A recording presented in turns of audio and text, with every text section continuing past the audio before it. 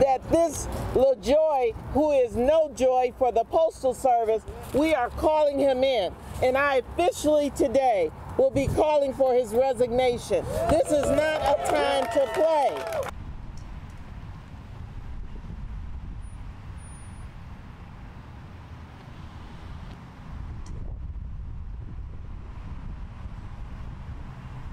When it comes to saving lives and preventing the spread of COVID, this president doesn't have a plan.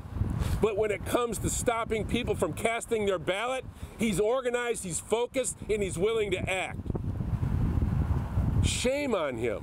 And it's not up to Donald Trump to decide whether or not the people of the state of Michigan ought to be able to exercise that right. Well, and also, you're saying, and you're saying that, um, you know, we're take somebody. And all you have to do is follow the money. Follow the history that between DeJoy and the present, the current corrupt president, and you will see that this is intentional. Are the notes that I am sending forward, I have personally mailed my residents. Attacking this service under the guise of reducing overtime while we're still in the midst of this pandemic is ridiculous. We need more help, not less. We need more hours, not less. You, you, it's a situation. It's a, it's a, it's a, it's a plan for failure. Just like these workers, House Democrats are going to deliver on Saturday. Right? We're going back.